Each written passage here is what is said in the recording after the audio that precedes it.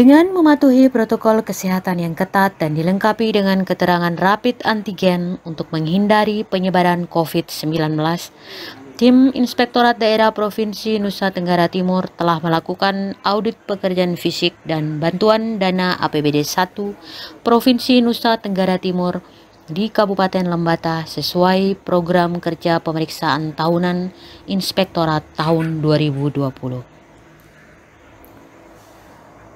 Tim tiba di kota Larantuka dengan menggunakan pesawat Wings Air dan melanjutkan perjalanan ke kota Lauleba dengan menumpang kapal motor cepat Fantasi. Tim diterima oleh Inspektur Daerah Kabupaten Lembata yang diwakili oleh Inspektur Pembantu Wilayah 1.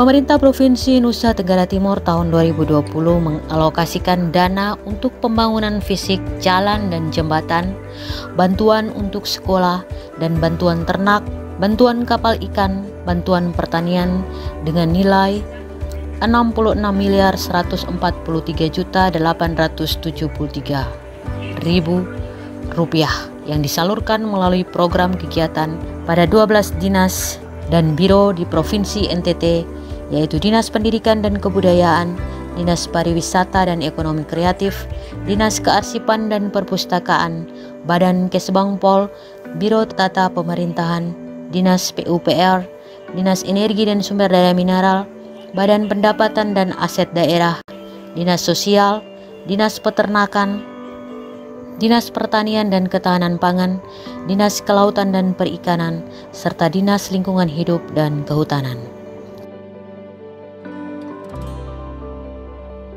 Tim sempat melaksanakan pemeriksaan pembangunan gedung sekolah di SMA Negeri 1 Ile Ape Timur yang berlokasi tepat di bawah kaki Gunung Ile Ape yang sesekali masih erupsi.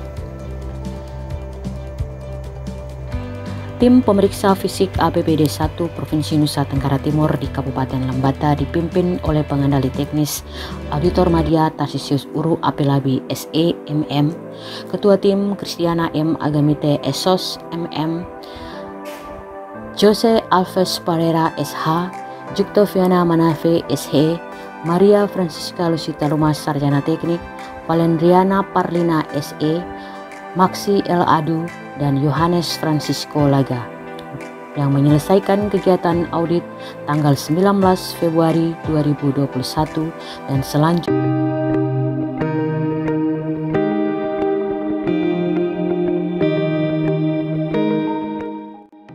Kamis 17 Februari 2021 bertempat di ruang Sekretaris Inspektorat Daerah Kabupaten Lembata tim pendamping capaian Monitoring Center for Prevention atau MCP dari Inspektorat Daerah Provinsi Nusa Tenggara Timur melakukan pendampingan dalam rangka mengetahui permasalahan yang dihadapi berkaitan dengan pelaksanaan aksi pencegahan korupsi sekaligus memberikan saran atau solusi terhadap permasalahan yang ditemui.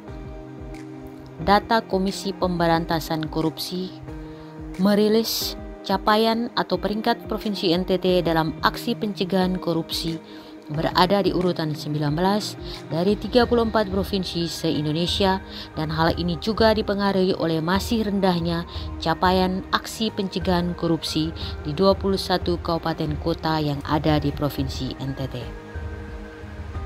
Kabupaten Lembata adalah salah satu kabupaten di Provinsi Nusa Tenggara Timur yang memiliki peringkat ke-13 dalam pencapaian aksi MCP tahun 2020. Peringkat capaian ini mengalami kenaikan dari tahun 2019 sebanyak 26,55 persen. Capaian terendah dari tujuh area intervensi di Kabupaten Lembata adalah pada optimalisasi pajak daerah, 6,25 persen serta manajemen aset daerah 1 persen.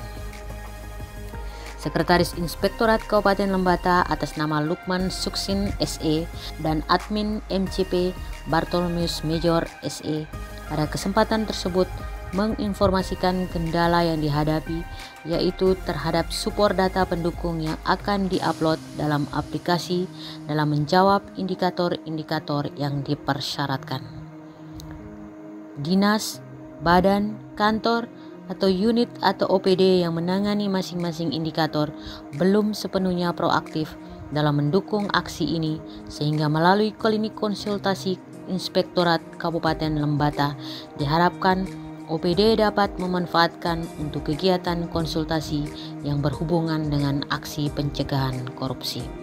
Pembukaan klinik konsultasi pengawasan sudah tepat dalam rangka memberikan solusi bagi upaya pencegahan korupsi di berbagai aspek. Namun hal ini juga membutuhkan komitmen yang kuat dari para pemimpin OPD untuk menindaklanjuti dalam bentuk pencapaian indikator masing-masing area intervensi. Ketua Tim Pendampingan MCP Inspektorat Daerah Provinsi Nusa Tenggara Timur dalam kesempatan tersebut menegaskan bahwa Inspektorat Daerah Kabupaten Lembata diharapkan bekerja lebih keras untuk memenuhi area intervensi aparat pengawas intern pemerintah dengan lima indikatornya yaitu kecukupan dan kompetensi APIP, ketersediaan anggaran, probity audit, pemeriksaan khusus dan tindak lanjut hasil pemeriksaan internal dan eksternal, selanjutnya proaktif dalam mengkoordinasikan support data dari perangkat daerah untuk memenuhi indikator dan subindikator yang tertuang dalam format MCP KPK RI. Selanjutnya berangkat ke Larantuka menggunakan transportasi laut untuk selanjutnya melakukan perjalanan udara menuju Kupang, ibu kota Provinsi Nusa Tenggara Timur.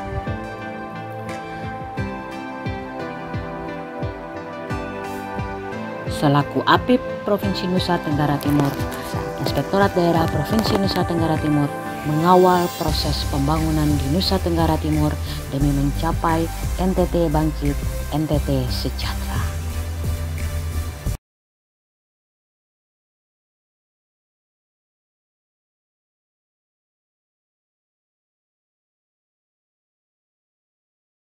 Thanks for watching.